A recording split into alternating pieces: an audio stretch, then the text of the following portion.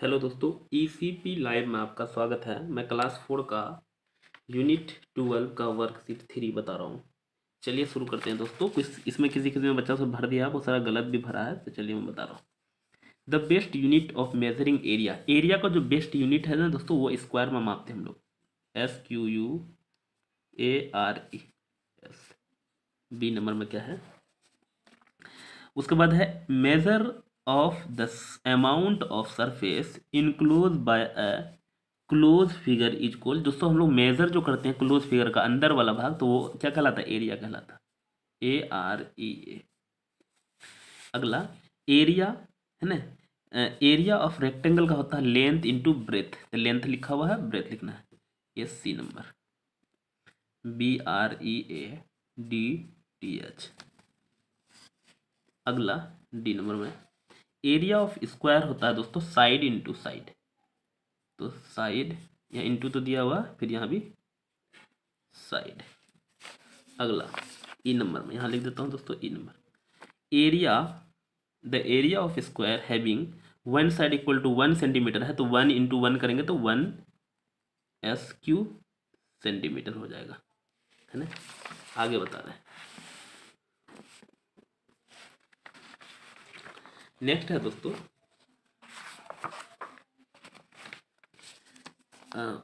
To number में। Find the area of rectangle whose dimension are given दिया हुआ है दोस्तों। तो हम लोग टू नंबर का ए नंबर बता रहा हूँ। लेंथ यहाँ दिया हुआ है दोस्तों, और यहाँ ब्रेथ दिया हुआ है। तो पहले लिख ले, लिख लेना आपको। L N G T H length equal to eight centimetre और breadth B R E A D T H three centimetre. इसलिए हम लोग को निकालना है रेक्टेंगल का क्या निकालना है? डायमेंशन निकालना है मतलब एरिया निकालना है। A R E A area equal area of rectangle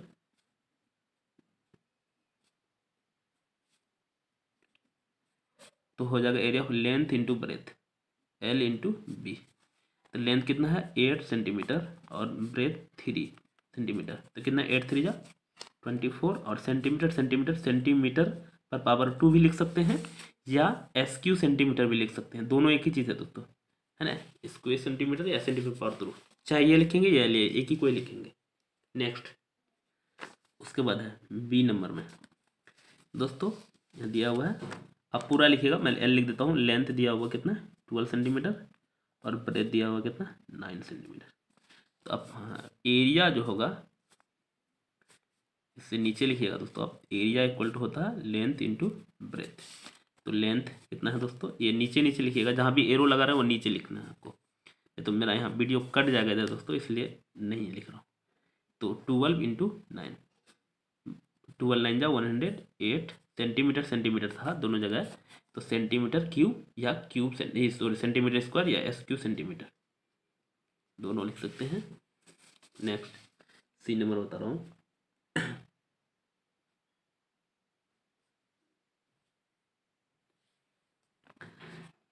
length दिया हुआ है दोस्तों, थर्टी टू मीटर और ब्रेथ दिया हुआ है twelve metre.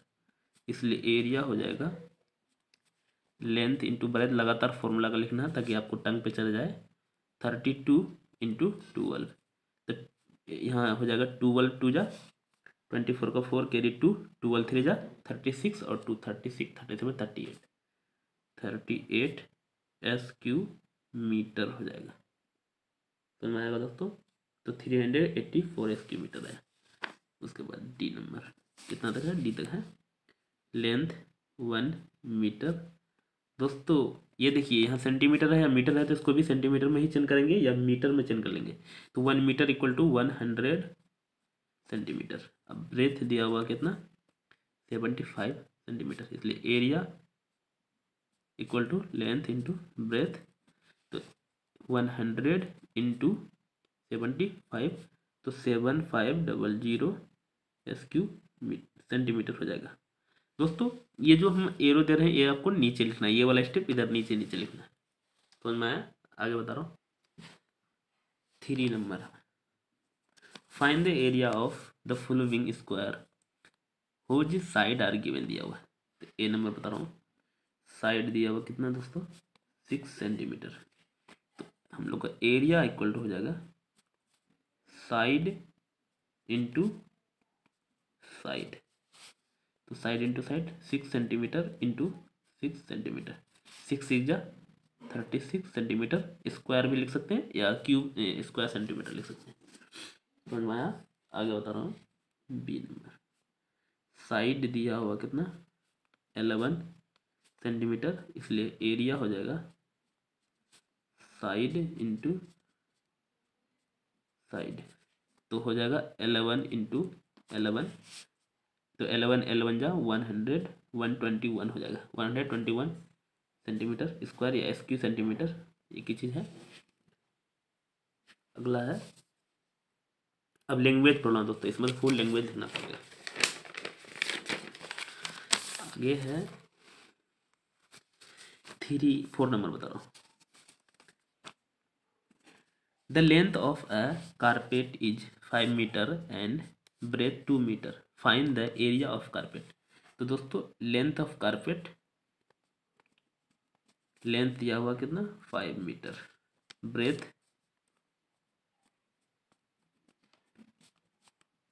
two metre find the area of carpet तो एरिया हो जाएगा, क्या होता है दोस्तों? लेंथ इंटू ब्रेथ होता है, हम लोग जानते हैं। तो five metre into two metre, five two जा, टेन एस क्यू मीटर हो गया। अगला बता रहा हूँ, five number.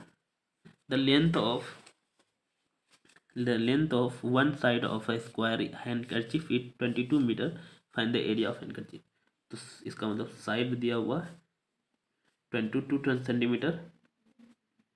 Area of handkerchief या इसका, लिख सकते हैं स्क्वायर दोस्तों, क्योंकि स्कार एरिया ऑफ़ जो हैंड करचीफ निकलना है हैंड करचीफ और स्क्वायर का ऑल साइड आर इक्वल होता है। दोनों लिख सकते हैं स्क्वायर लिख देते हैं S Q U A R E तो क्या हो जाएगा दोस्तों साइड इंटू साइड है ना? तो ये अब क्या हो जाएगा?